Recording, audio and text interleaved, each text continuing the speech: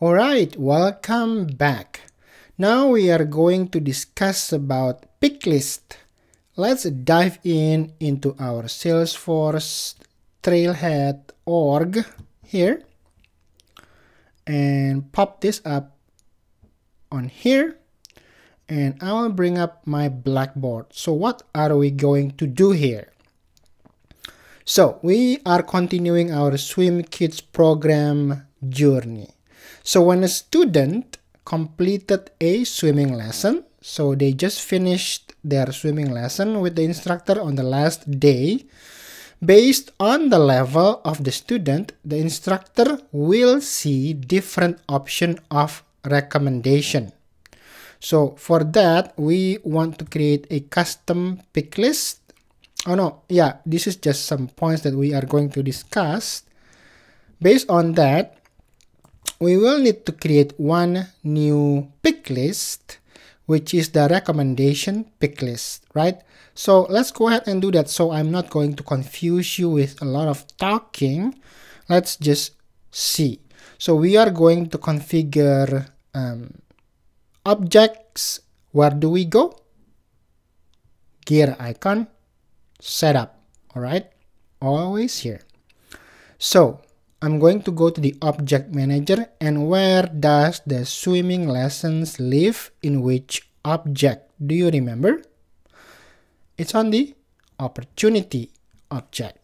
We can also rename the object but that's on a later module probably. So let's stick with opportunity. We can rename this to swimming lessons if we want to okay? But let's stick with it because salesforce use opportunities and we have to get familiar with opportunity name. So on here field and relationships. I want to create a new recommendation field and populate it with a pick list but then the value changes depending on the level of the swim kids. pretty Pretty cool, right? So let's go ahead and, and do just that. So new, and then it's a what? Pick list, because we are discussing about pick list. So I'm going to hit next. So field label is next step recommendation, right? So we are going to enter the values. So the first recommend recommendation is recommended to repeat the current swimming lesson, meaning the student failed.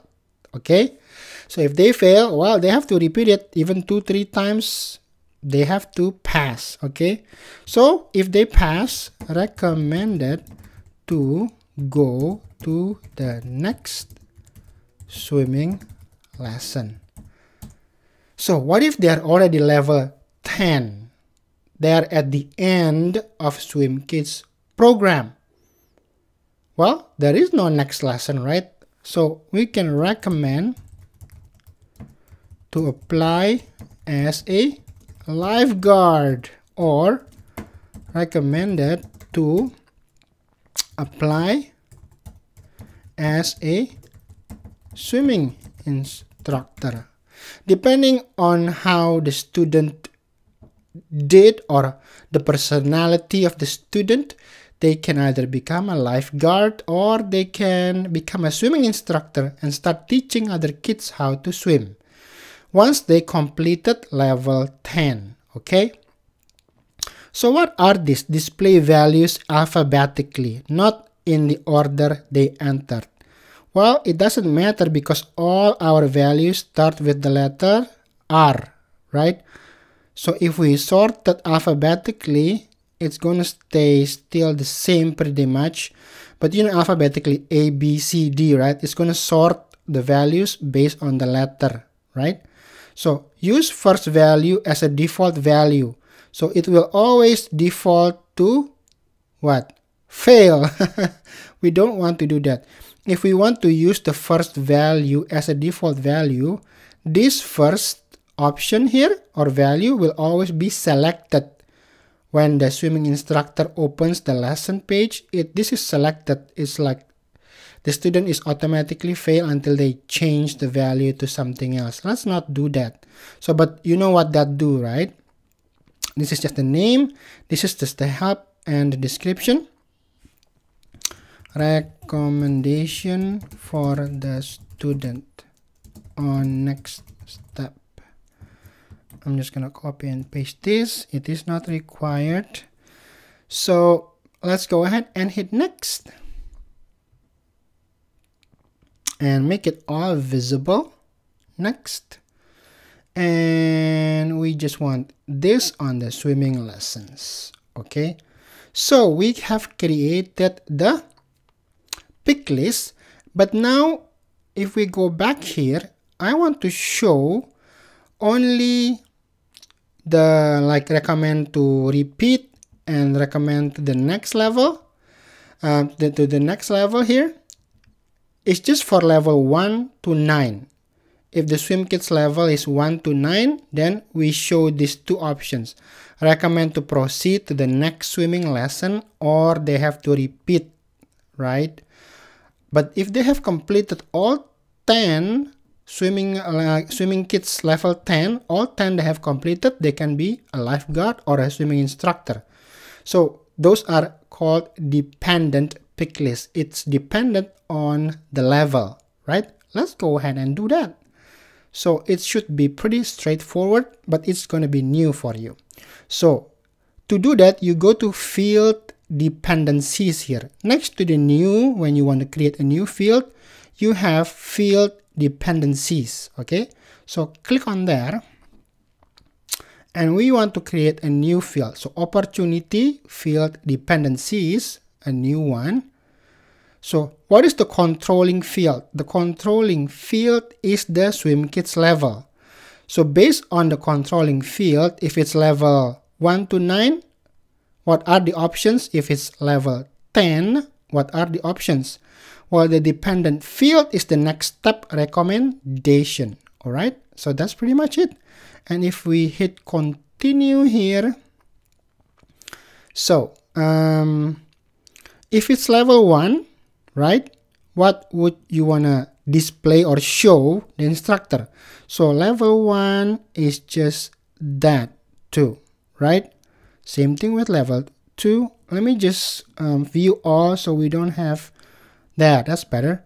So I'm going to choose this BAM. So for level 1, 2, 3, 4, 5, 6, 7, 8, 9, we can recommend these two. It's only these two that the instructor can recommend. They cannot recommend this because they haven't completed the whole program. For 10, whoops, I want to select that so it's a bit tricky with Jeremiah, so I'm just going to include values first there, right? so then I'm going to do this and include values there. Now, that looks better. So now, do you know how to select that? You, you use, you hold your shift key on your keyboard, keep pressing it, and then you do your mouse like that. Keep pressing the shift on your keyboard, and you can click like that, right? Okay. So we can save that. So if it's level 1 through 9, these are the two recommendations that can be seen by the instructors. If it's level 10, oops, my bad, they don't see this two, right? So if it's level 10, they don't even see this two. So I'm going to exclude the value. They can only recommend as a lifeguard because they have completed the lesson. Or if whatever they fail, include the value there. If they if they fail level 10, well, they can repeat it, right? But if they pass, they can become a lifeguard or an instructor. So save that. So that is safe. Now, if we want to see it in action, let's go back here. And opportunities, we just want to see it in action here. So say swim kids 10, Christine Kilpatrick here, right? if you click there and you go to the details. Now um, next step recommendation here at the bottom. You see? C is swim kids 10 and next step recommendation what do we see here? See? Recommended to repeat the current swimming lesson recommended to apply as a lifeguard and recommended to apply as a swimming instructor. So you can see that right is at the bottom here. So these three options for swim kids 10 because it's swim kids 10 now if I change this for example to swim kids 4 look at this. Boom just two. Recommended to repeat the current swimming lesson and recommended to go to, to, to the next swimming lesson. So it depends on the swim kids level. If it's one the same thing just two options. But if it's 10 there is new ones lifeguard and swimming instructor. Pretty cool right? So this changes the recommendation changes based on the level of the swim kids because we have defined that on the setup. So that's pretty much it guys. So let's go back here and do our challenge. So we have discussed about this when to use the pick list anatomy of a pick list standard pick list custom pick list multi-select pick list? Well, it's basically you can select multiple values. It's pretty straightforward, nothing complicated about that. Um, oh, restricted pick list. What about this? Let me go here. So if I go back here, that needs to be explained. Restricted pick list and I go to my object back to opportunities uh, um, again opportunities. And field and relationships. For example we go to the swim kids level right which is a pick list. And we go here. And then we can also here restrict pick list to the values defined in the value set. What does this mean? This mean if anybody tries to enter in from a programming point of view API values other than this 1 to 10 it will error out. It will not allow it. If you do not check this box and a programmer tries to play with this object and this particular value and they enter in a text for example 10 like 10 like this like I mean like 10 10 like 10 right? Level 10 and then it will actually create a new value called 10 which will mess up your data. But depending on your use case you can also allow it just in case you you allow the list to grow as circumstance changes.